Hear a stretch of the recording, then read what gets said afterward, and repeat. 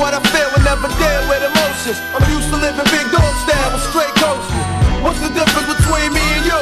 You talk a good one, but you don't do what you're supposed to do. I act on what I feel and never deal with emotions. I'm used to living big dog style with straight coasting.